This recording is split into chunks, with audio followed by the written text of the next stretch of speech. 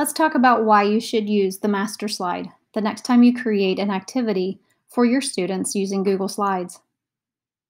First and foremost, when you use the power of the master slide, you'll go a long way in preventing the accidental deletions of the very important pieces of your Google slide.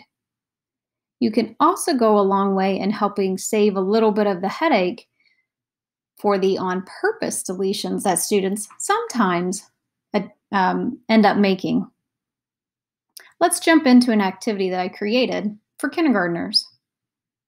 Now, if you've ever worked with some of our littlest learners, you know that sometimes clicking and dragging or manipulating or just being on a slide will mean that there are going to be accidental deletions. And there's nothing more frustrating for a student, especially our, our youngest ones, when you ask them to do an activity and then either A, they don't know how, or B, something happens and then they really can't. So you, if you know anything about slides, you know that you should be able to come down and select each of these. Do you notice a difference? Do you notice how you can't select the image? You can't select the text, but you can select the speaker.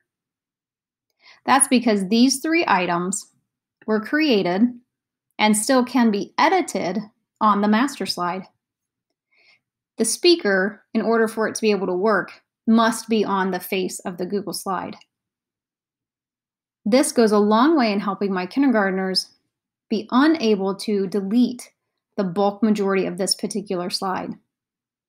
I did the same on the second slide where the speaker can be selected because the students need to be able to do that, but they can't select, therefore, accidentally delete any of the rest of this. They can still ever however, click in here and be able to type. It's a lot of picking and choosing what's going to help fit the best for your activity.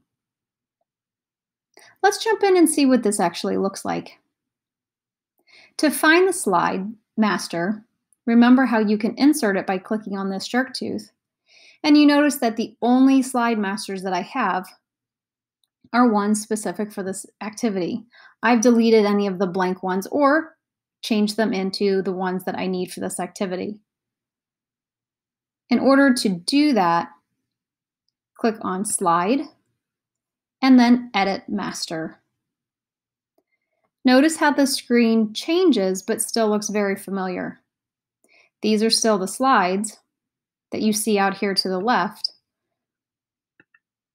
But here, I can select and even edit, if I chose to, the text that's here.